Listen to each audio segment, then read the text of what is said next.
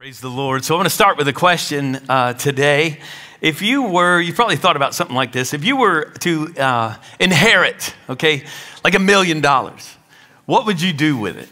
Okay, what would you do with it? Or how about this? If you were to inherit a billion dollars, okay, that's like a thousand millions, I think, something like that. So there's this is a big difference. If you were to inherit a billion dollars, what would you do with it?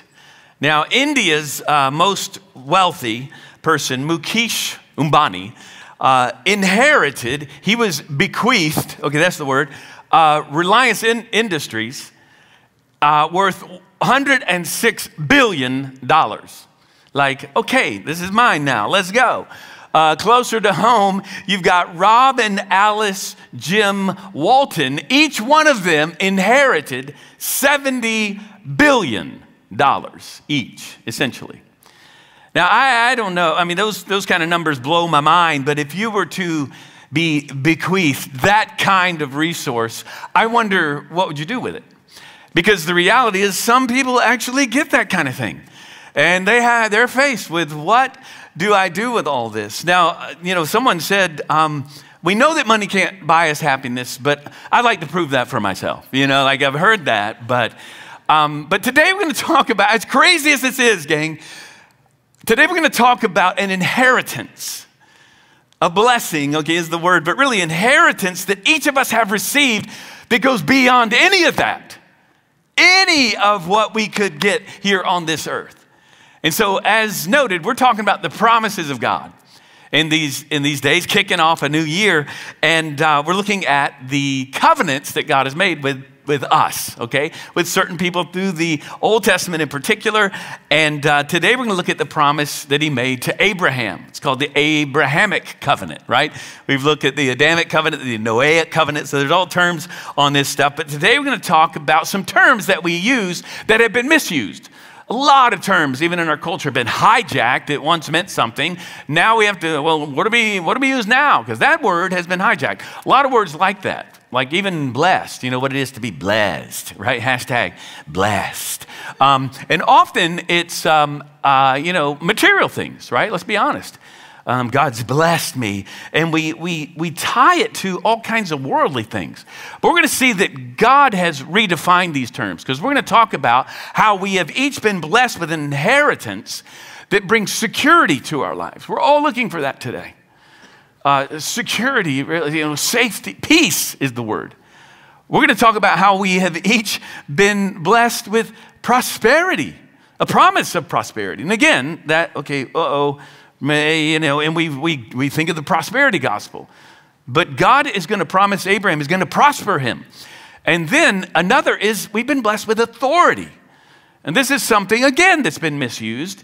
But we're going to stick with some of these terms because this is what's going on in the story. I want you to turn to Genesis uh, 15.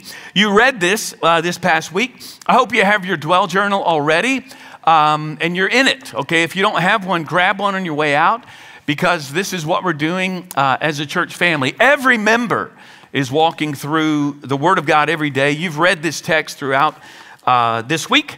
In fact, every Friday is exactly the text for the sermon, so you can get ahead. Gang, we are dead serious about the Word of God because we believe He speaks to us, not simply when, you know, a pastor or someone steps up and has studied the passage for you. That's a good thing.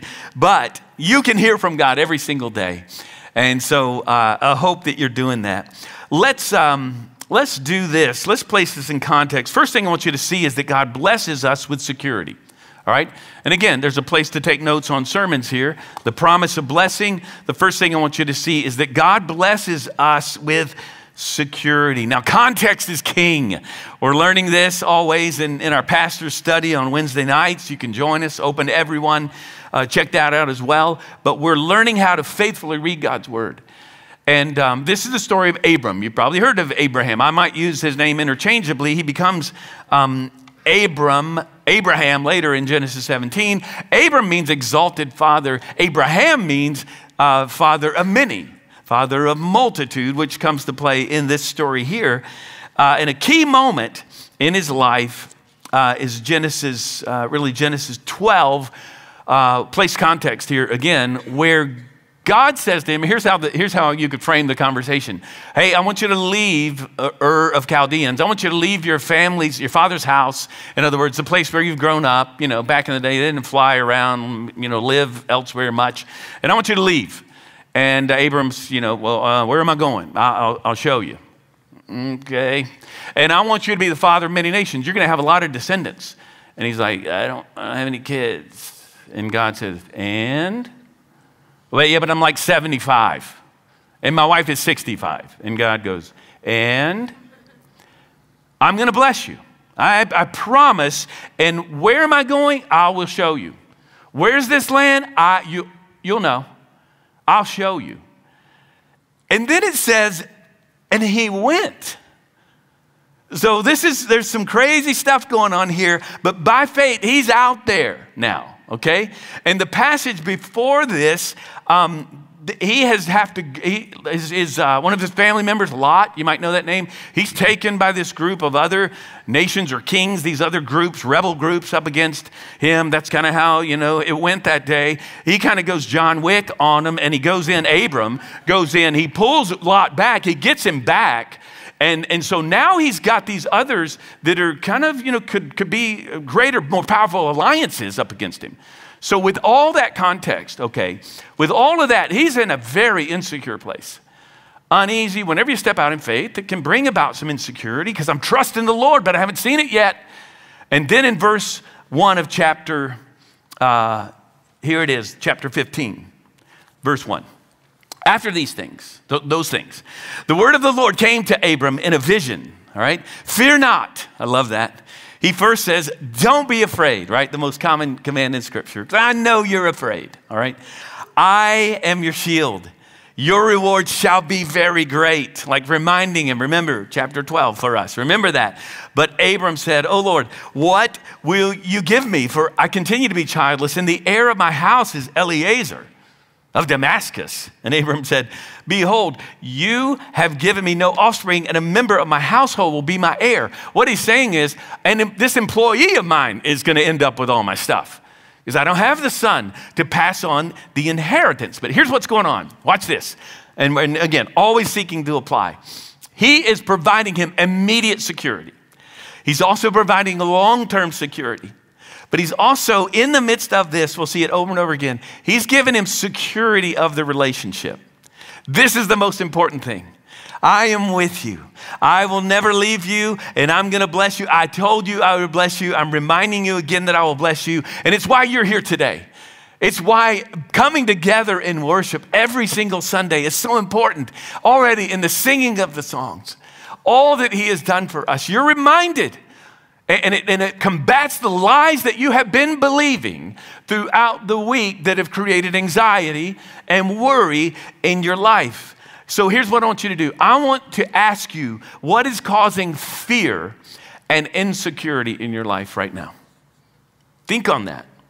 And maybe you would write it down, name it, because we're going to apply this passage to that. Our fear, listen, your fear is in direct correlation to the object of your faith, wherever you place your trust. That, that's what it is. We say it often don't ever place your trust in something that can be taken away from you. And when you think about it that way, I've talked about how your deepest uh, emotions point you to your idols.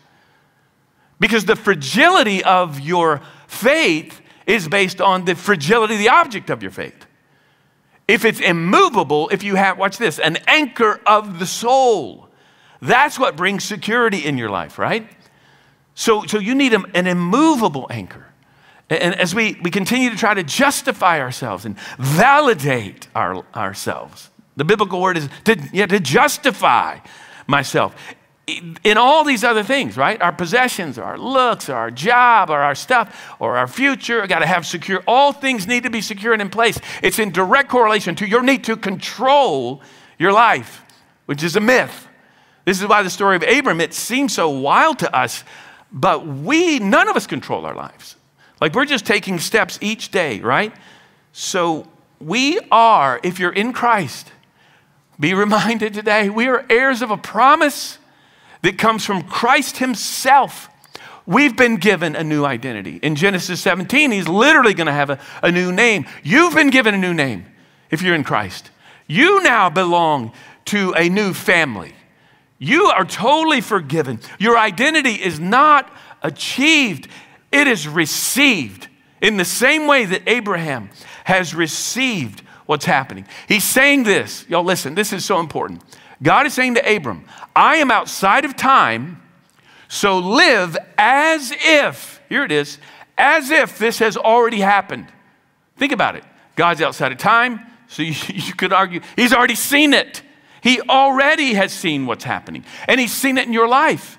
He already sees the other side of the hurdle that you're in. In fact, Ephesians 1, verses 3 and 4 says, In Christ we've been blessed, there's the word, with every spiritual blessing every spiritual blessing. He chose us before the foundation of the world, He chose us in Him. He, he knew that this was going to happen so that, and He plays this out, so that you should be holy and blameless before Him. We sang about it earlier. It might seem weird, and if you're a guest today and you know, maybe a lot of this is new to you. We're singing about the blood of Christ. When you think about it, that's a little, little funky, unless you really understand what he's done, how precious is his blood. It covers me, it's made me righteous. I have a new identity now.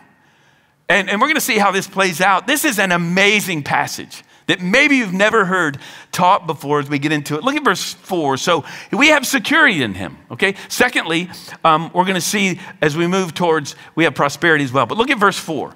And behold, the word of the Lord came to him This man shall not be your heir He's saying, Your very own son shall be your heir. This is just a moment of clarity for Abram. In other words, he hears from the Lord and he goes, Okay, wow, I'm believing this. Like, this is clear.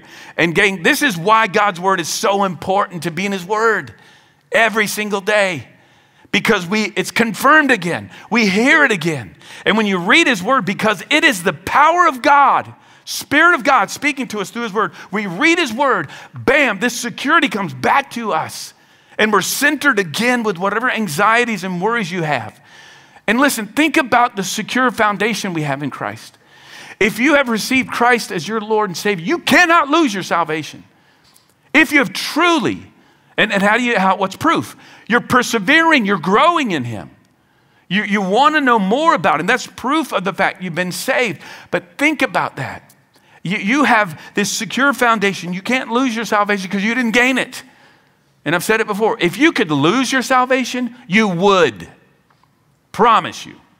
I would. He's got us secure in him. He will not let us go. And that's what he wants Abram to see here. Okay? Now, secondly, look at this. God blesses us with prosperity. Again, I told you I wrestled with this word. It's been hijacked, misused because of prosperity gospel, which is this name it, claim it kind of thing. You know, that if you do this, God will do this.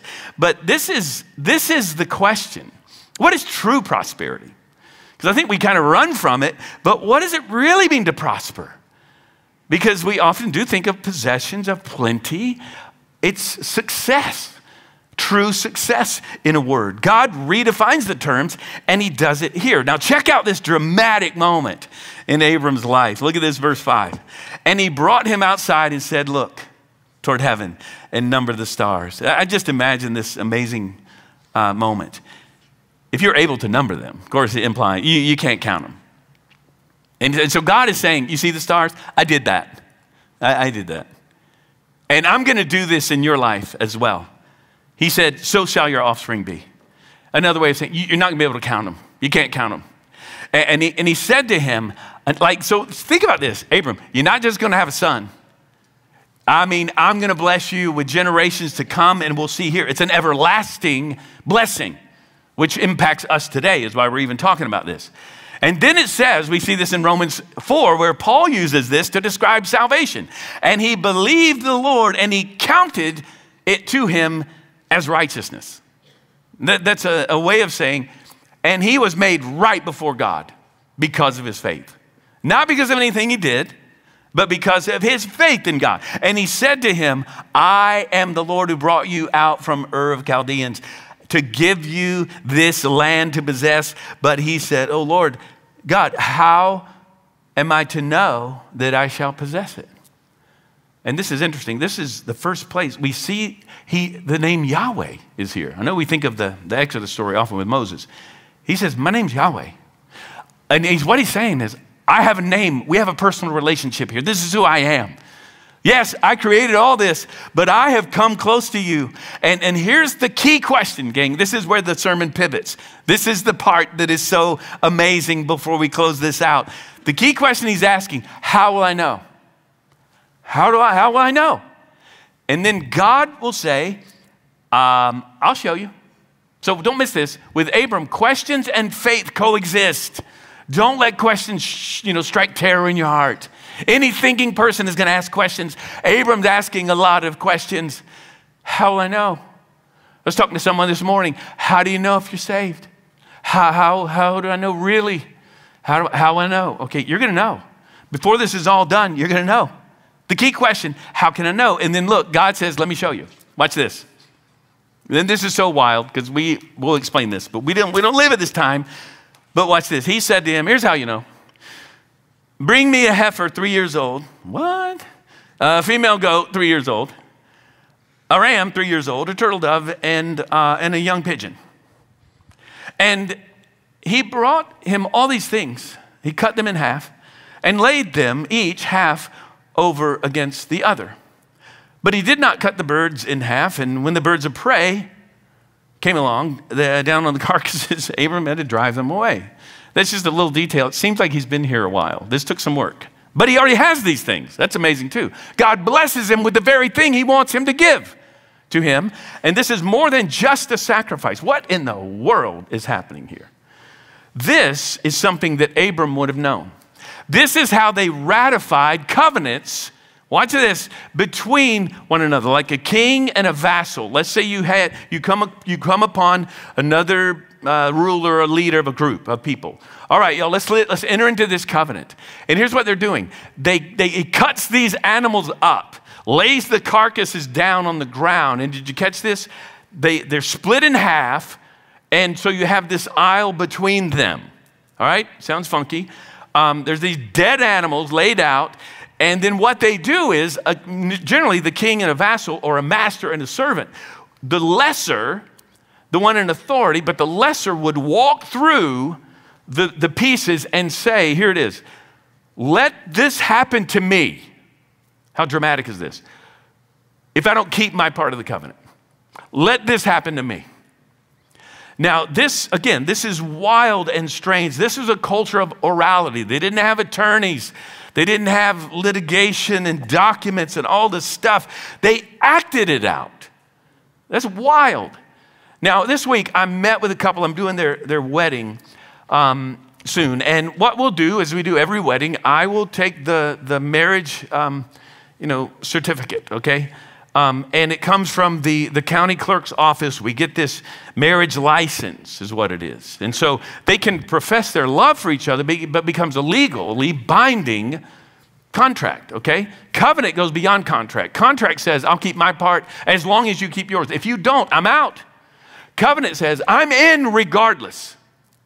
And so I, I talked to this couple and I said, What if, I got an idea, like, what if, what if at your, at your wedding we just like laid, just took a heifer, you know, and then like a goat and took some animal, just cut them up, laid them out, and let's have, let's say, you know, the groom is down there. You come and meet the bride midway. Like, y'all are both coming in here and you're saying, if, if I don't keep my covenant with you, I mean, yeah, we can exchange rings and do, the, do all the things, but if I don't, let me become like one of these dead animals.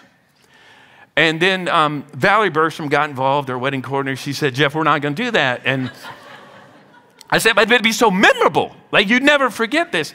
And of course, I didn't do that. But, but you get the idea. But there's an amazing twist, gang, in this acting out of this kind of a death wish. And I say that because marriage still is the closest thing we have to covenant. Covenantal love and agreement, legally binding and bound by the heart, is what covenants are. So look at verse 12. As the sun was going down, a deep sleep fell on Abram. Now, all this is crafted so carefully. A dark kind of smoke, a darkness comes over him. Uh, and behold, dreadful, this is like, and so look, dreadful and great darkness fell upon him. Now you're going, what's going on here? Well, he, he is now, he's not just exhausted from doing all this, I suppose, but he is engulfed. He is, here's what it is this is a holy fear. You kind of sense that just reading it. Like something else is going on here. He's not just sleeping, he's not just falling out here. This is a holy reverence, fear before a holy God. Because watch this if you don't have holy fear and reverence before God, you will never fully experience holy presence even holy peace and joy before the Lord. I, we miss this in our day, game. And let me just challenge us as we gather for worship. Some of us come in here way too casually. And what I mean is of the heart. I'm not talking like we can't talk to each other, hang out, and what's up? How's your week going? All the things. But if we don't set our hearts before Him and, and, and get here ready to be here and to, to say, Yes, Lord. Because see, J- James 4:10 says, Humble yourself before the Lord, and He will lift you up. Until you humble yourself before God with holy fear, you'll never be lifted up by Him. But here's what happens because we don't often voluntarily humble ourselves. What happens is life circumstances, God allows us to go through so many things that we will be humbled for our good. We'll be humiliated for our good so that we will turn to Him and see how desperate we are for Him. And so look at verse 13. Then the Lord said to Abram, Know for certain. Okay, remember the key question. Abram said, How will I know? Okay, know for certain. He's going to parse this out for him that your offspring will be sojourners in the land. He's saying there's trouble coming. And, and, and it's, it's not going to be their land, and, and will be, be servants there. And they'll be afflicted for, for 400 years. So, how am I going to know this? Okay, he's not finished with the ratification um, ceremony. Okay, that's coming. Then he says, But I will bring judgment on the nation. He's saying, I got your back. I told you, I'm going to bless those who bless you, but I am with you. And afterward, they shall come out with great possessions as for you, he's, watch this, he's giving a very personal instruction. You're, you're, you're, you're going to you're gonna go to your fathers in peace. You're going you're gonna live uh, you know, old. You're going to be buried in old age. He's like, I'm already 75. No, you're going to be older, and they shall come. I'm just starting with you, by the way, at 75. That's a word for somebody here. And they shall come back here in the fourth generation, for the iniquity of the Amorites is not yet done. What he's saying is the, there's going to be a lot of trouble. The Amorites, the evil's not finished. You're going to go through a lot. But he's saying true success, peace is what we're looking for today, will come. I was at a memorial service this week in our, in our church talking to one of our members and how these conversations go. When you think about eternity and death, and we were talking about how, you know, at the end of the day, it all comes down to faith. All that matters, where is this person in Christ? That's all that matters now. Um, and, and yes, in the end, faith and, and family, you can say friends and family. But I can tell you often when I'm, you know, at the bedside, in a hospital room or with a family. It's, it's faith and family. And if you, do you don't have much family or here in, in Dallas, we, we are family, brothers and sisters, even closer than biological families. That we can do this thing together. But we know this, friends, to re- be reminded today is not possessions. It's not power, it's not popularity. What God is promising him is rest and clarity, clarity certainty.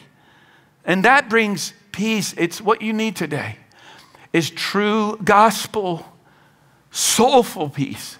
And that only comes in right relationship with God. But don't miss this ultimate success in life.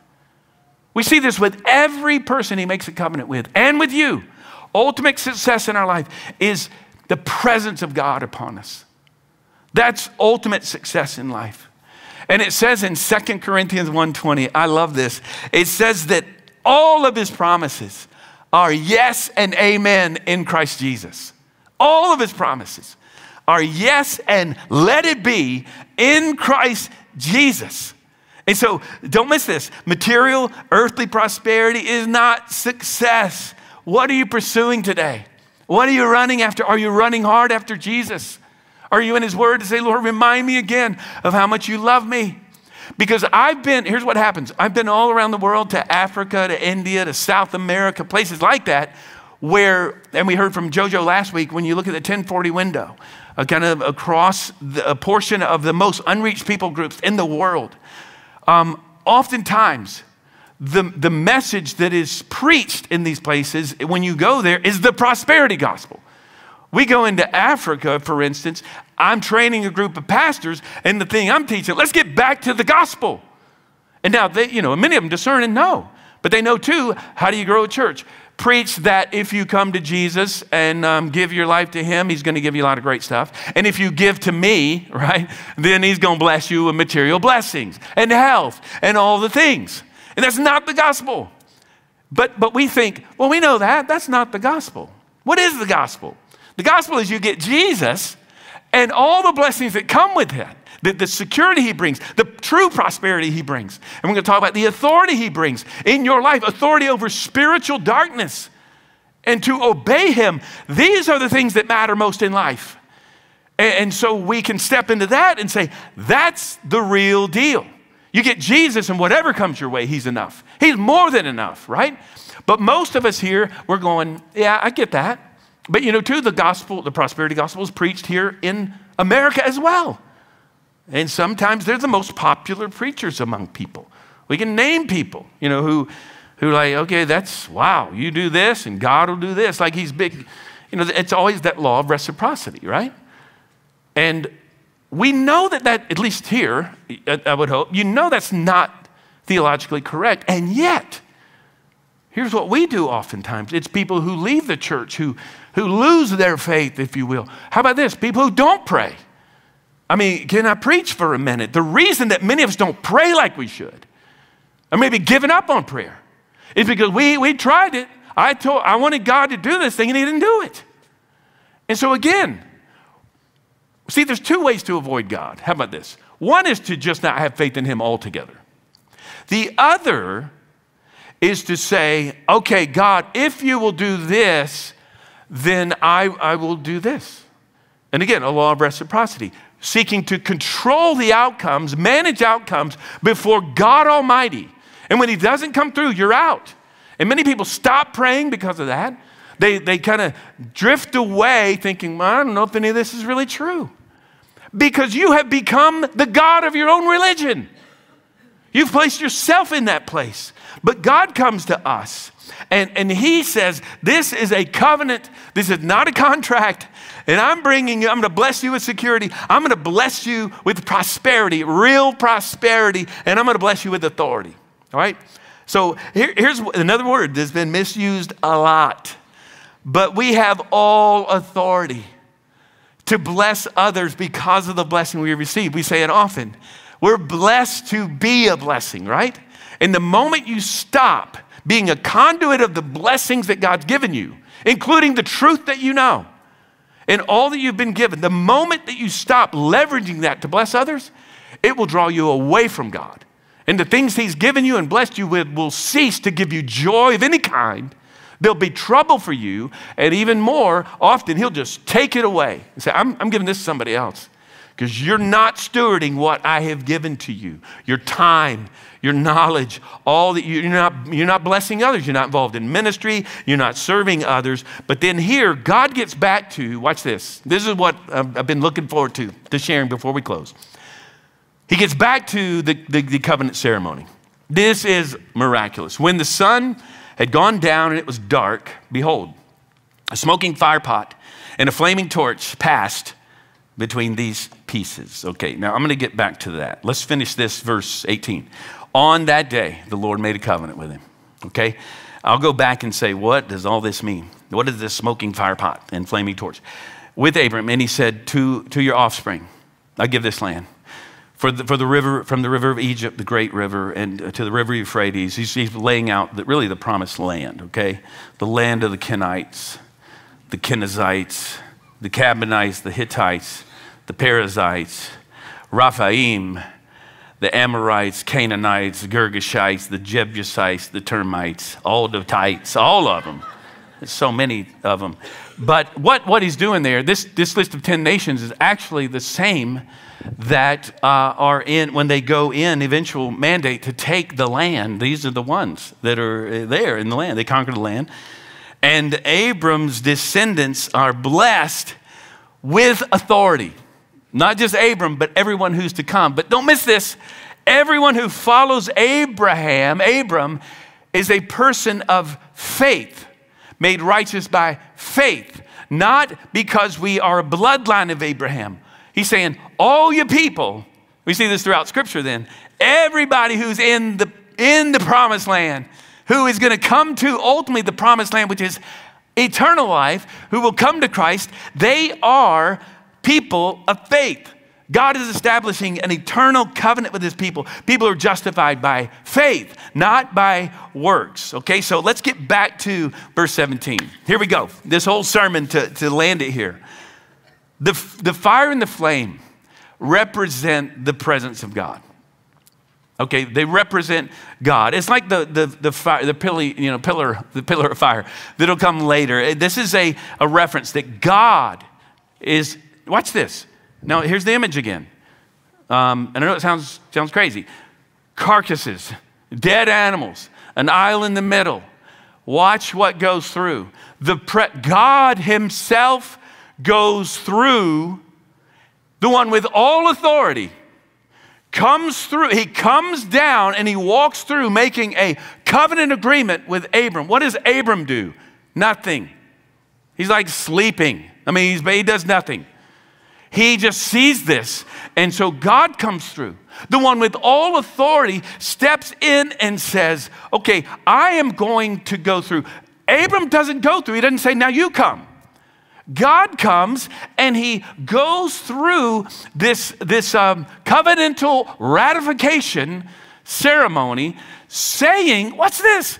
Let this happen to me. If I don't keep my side of the covenant.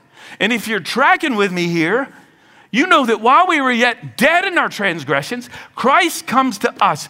God makes this covenant entirely based on His will and His work not Abram, not us.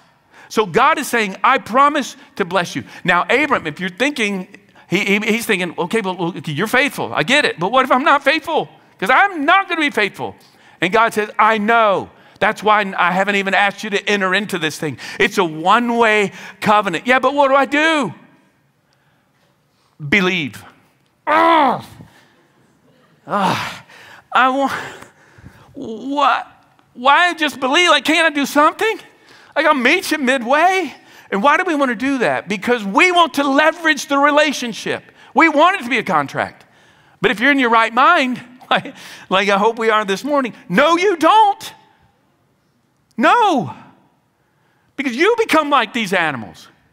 So Jesus comes, the one with all authority. There was another day to come. Hundreds of years later, the land grew dark. God Himself comes in the person of Jesus Christ. He lives the perfect life for us. The one who's given all authority comes and He ends up saying, I'll take this on myself. I'll validate the, co- the covenant. I will justify everyone else when there was no way. Jesus makes a way so that Paul would say in Hebrews 6, I love this, listen to this. For when God made a promise to Abraham, he gives commentary on this. Watch this. Since he had nobody else to swear by, he swears by himself. I don't know if you've read this, saying, Surely I will bless you and multiply you. And thus, Abraham, having waited patiently, he waited and he obtained the promise. For people swear by something greater than themselves, and in all their disputes, an oath, a covenant, is final for confirmation. So, look at verse 17. It's on the screen there. So, when God desired to show more convincingly to his heirs, the heirs of the promise, the unchangeable character, unchangeable character of his purpose, he guaranteed it with an oath, with a covenant, so that by two unchangeable things, okay, what are they? God's word and the covenant made. Now, the covenant made in Christ that he has come to die on the cross for us, in which it is impossible for God to lie we who have fled for refuge might have strong encouragement to hold fast to the hope set before us. We have this sure and steadfast anchor of the soul. Do you have the sure fast anchor of your soul today? Have you received Christ? Because an anchor doesn't just go down and float down in the water below the boat, it does nothing. It goes into the bedrock, it goes into the ground. and it is immovable. Because look at this a hope that enters into this inner place behind the curtain, into the Holy of Holies, before God Almighty, where we could not go, where Jesus is gone, the forerunner on our behalf, having become a high priest forever after the order of Melchizedek. He mentions Melchizedek because the chapter before we looked at today, he runs into Melchizedek, a priest and king. Jesus comes, the priest the bridge between us, the king above all kings. Have you received your inheritance? Have you received this bequeathment that has come to you? Are you saved? Have you received Christ?